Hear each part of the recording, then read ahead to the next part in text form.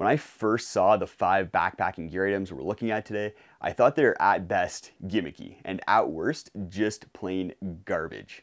We're gonna look at what these items are and how they've surprised me by not only not being garbage, but becoming some of my favorite pieces of backpacking and hiking gear. It's easy to see why I may have been skeptical about these sandals from Mayfly Ultralight.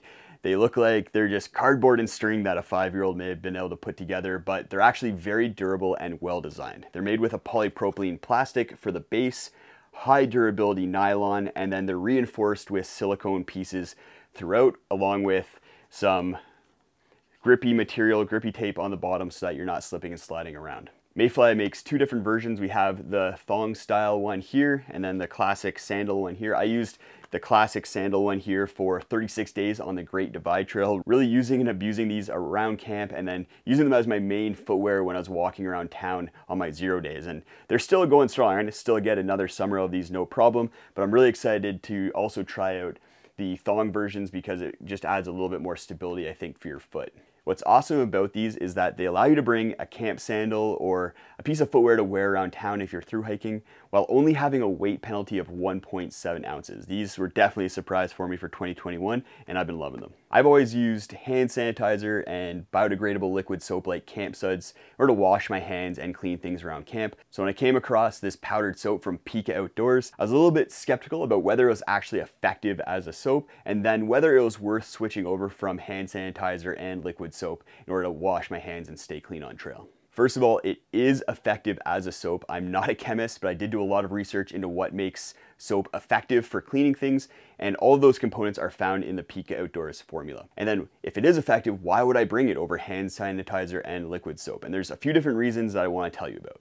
One of the best things about powdered soap is that it doesn't freeze. If you're hiking in fall and winter and the temperatures are getting below freezing, then having a powdered soap is way better than having to deal with liquid soaps. I've also found that powdered soap is a lot less messy than liquid soap. You don't have to worry as much if it does leak all over your bag, and then it's a lot lighter. You're taking out all of the water weight that you'd be carrying with liquid soap and just dealing with the powder and then adding water once you're in the field. Pika Outdoors is biodegradable, which is awesome, but like with all biodegradable soaps, in order to not impact the environment, it's recommended that you still wash your dishes and wash your hands with soap away from water bodies like rivers and lakes. Without even realizing it, almost all of the gear we're looking at today is available over at the Garage Grown Gear website, and they happen to also be the sponsor of today's video and a nice surprise for 2021.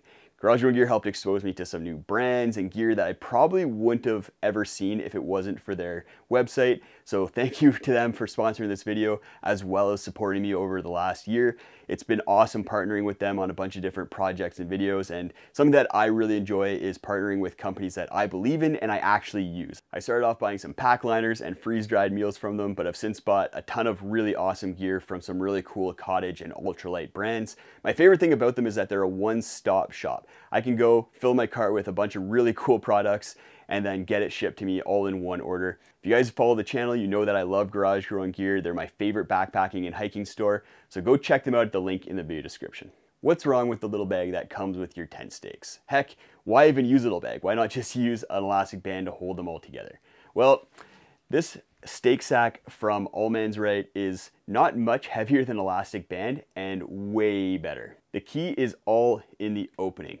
The allmansright stake sack opens a lot wider than a traditional stake sack, which makes it easier to put stakes back into the bag, as well as dig into the bottom in order to find those little stakes like mini groundhogs when they're sandwiched in with a bunch of larger stakes. When I'm a little bleary-eyed and taking my tent down in the morning, it's actually crazy how much nicer it is to have a wider opening to put the tent stakes back into. They've also designed the opening of this very well.